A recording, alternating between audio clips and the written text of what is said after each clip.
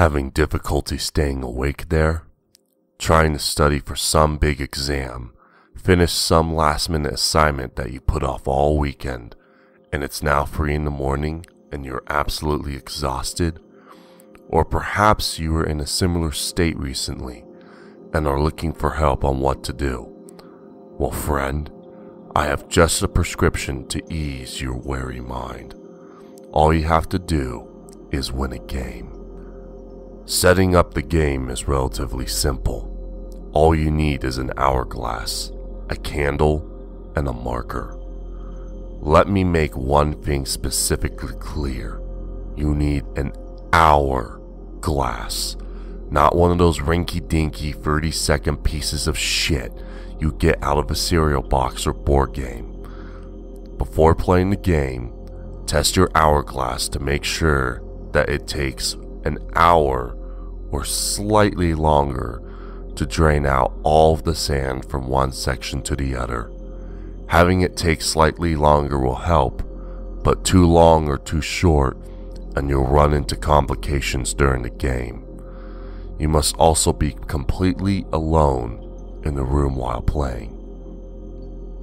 When you are ready to play, choose any room that can be sealed, simply meaning that all doorways and windows can be closed.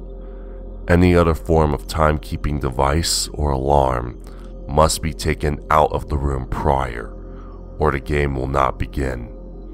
The hourglass will be your only time tracking tool, hence why having an accurate hourglass is crucial. Anything with an electronic display should also be removed. This includes TVs, cell phones, computer monitors, anything.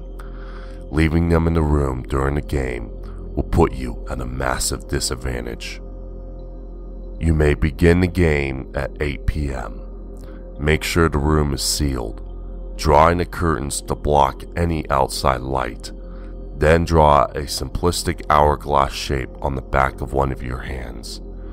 Make sure to remember well which hand it was, since you'll mostly be in the dark for this game. Take the candle and light it, then turn off the lights and sit down on the floor with the three previously mentioned objects close together and flip the hourglass so the sand begins to fall into an empty half. The only source of light should be your candle. Now, yell something along the lines of,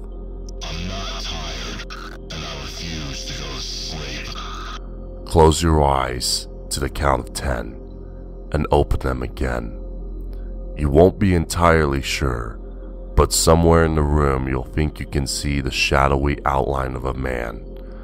You have now begun the game, and your opponent is none other than the Master of Sleep himself, the Sandman. Do not provoke him, and do not speak to him either.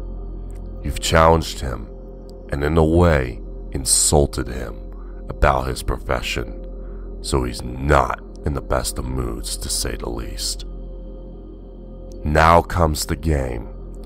Your task is to stay awake for as long as possible, to a maximum of 8 hours, which will take you to 4 a.m. Every hour, you must flip the hourglass to reset it and keep the game going. Each time you flip the hourglass, you may take the marker and draw a tally mark on your arm. The specifics of which arm you mark will be explained later. And don't think you can just flip the hourglass 8 times really quickly or just draw 8 lines on your arm. The hour needs to pass in order for the magic to work. If you fail to flip the hourglass before the very last grain of sand falls, or should you succumb to sleep, you'll lose. During this time, the Sandman will be deploying as many tricks as possible to get you to fall asleep or give in. See, the bottom half of your hourglass at any time represents his power. The more sand, the stronger his influence will be. Almost immediately upon starting, you'll begin to feel drowsy. This is merely his presence. If you cannot last against this, stop playing immediately. During the first hour, he won't do a lot. He may walk around the room, but he won't touch you or speak to you. Even if you try to talk to the being, which is something you should really avoid doing, there will be no response. Also, don't move from your spot to approach him. The closer you get, the more drowsy you will become. And if you're not near your candle, he may put it out so you can go to sleep.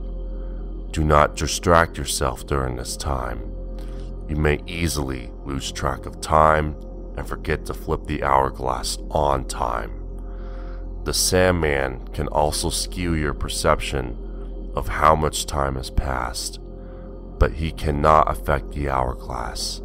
So, keeping your focus on that is your best chance of winning. Side note if you try to leave the room, you will find that the doors are all locked and the windows reveal nothing but an unyielding darkness as far as you can see.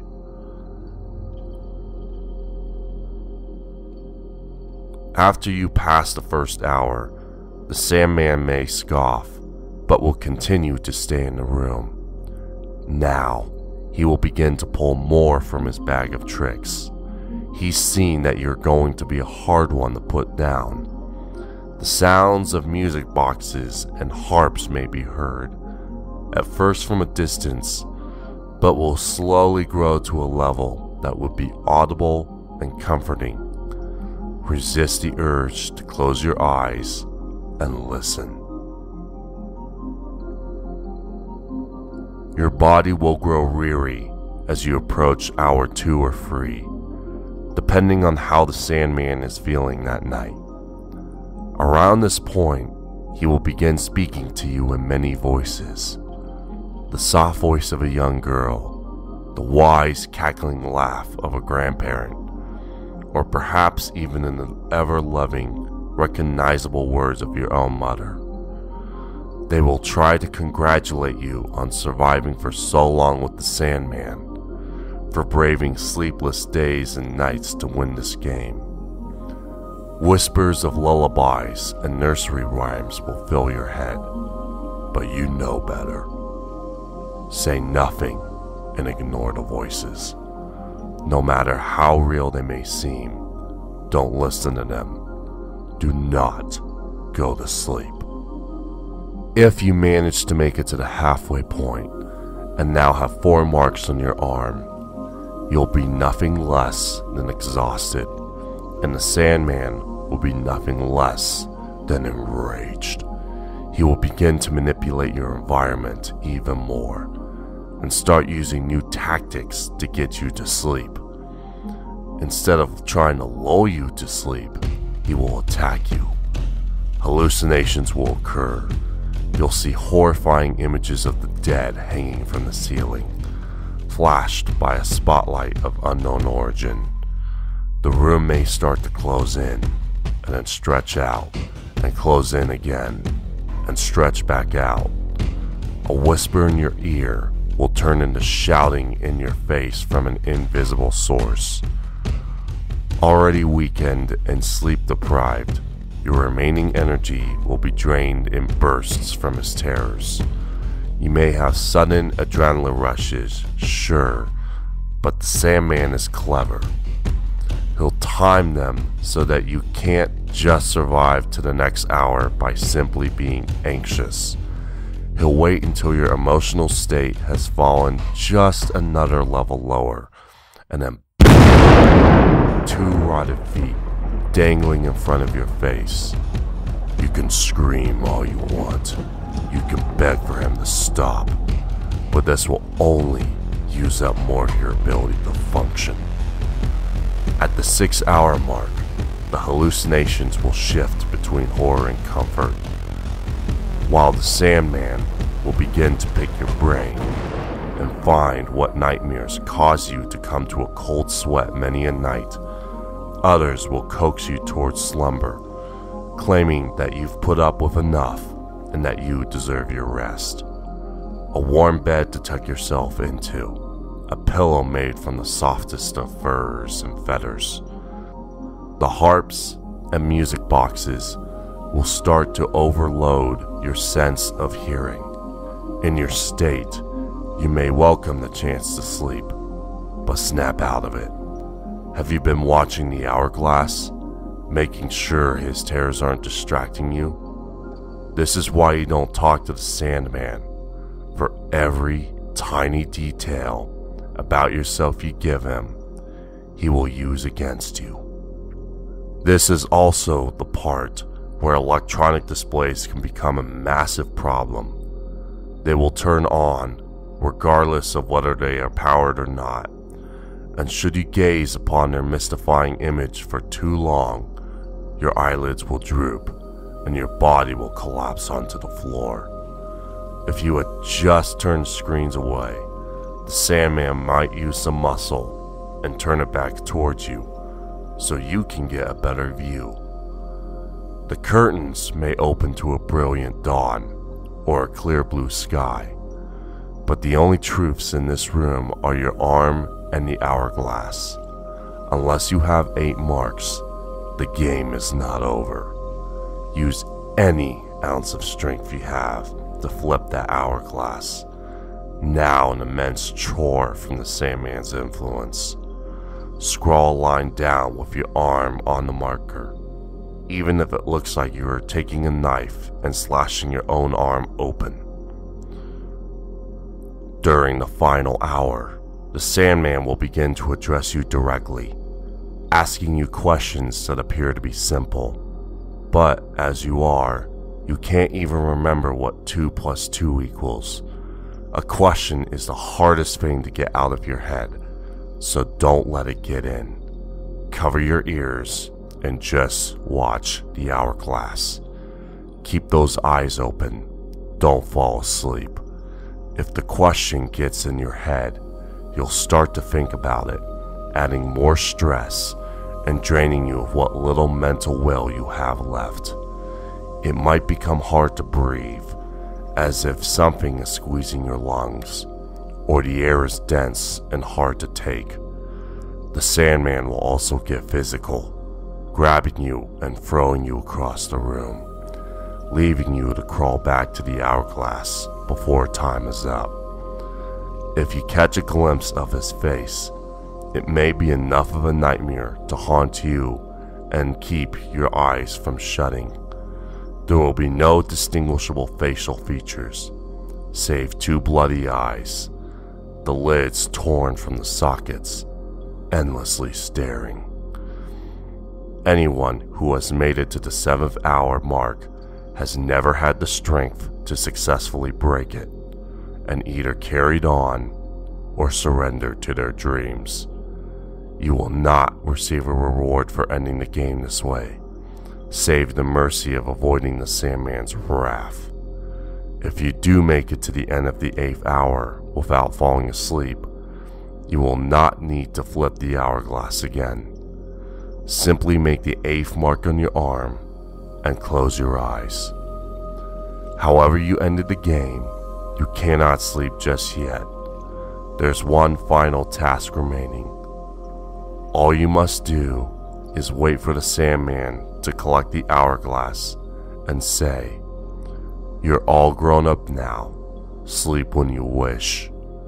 Open your eyes and find that the hourglass is gone and the candle put out. Now you may collapse in slumber, a 12 hour slumber to be precise. The game puts a heavy strain on your mind and body, so recovery is necessary. But it's the last sleep you'll ever need, or at least to that length, because once you've fully recovered, you will be able to stay awake for an extra hour for each tally on your marked arm. Depending on your normal sleep schedule, this may mean that you only need a small nap, maybe an hour or two at most, but for some, you'll never have to lie down again. Sure, you will have the ability to do so if you want to. You can still even dream, but there will never be any weariness following you. Just think of how productive you can be. But it's not all unicorns and rainbows. If you mark any tallies on your arm that were not marked by the hourglass, you will instead require more sleep, one hour for each tally on the blank arm to be precise. You will require more rest to be able to even function throughout your day. Now these marks can cancel with the ones on your marked arm, but if that's not the case, you may have just gone through all that suffering only to come out worse than before. And what with your delirious state throughout the game, it's unlikely for the average individual to come out with all the tallies on the marked arm. There are also circumstances of losing. If you fail to flip the hourglass, then the Sandman will gain full power, and with a snap of his fingers, you will collapse to the ground. Regardless of how you fall asleep, be it by failure of the hourglass or succumbing to your own tiredness, you will also sleep for 12 hours to recover, but it will be the worst sleep you'll ever have, and the Sandman will make damn sure that's the case. The worst nightmares will flood your mind, leaving you unable to escape or wake up in a relief filled cold sweat. All you can do is endure the torture of a dream that feels like years. And when you finally come to consciousness the next morning, there you will be, lying on the floor of the room, the mark still on your arm, and blood flowing from where your eyelids once rested. You said you refused to close your eyes and go to sleep. The Sandman has simply granted that wish.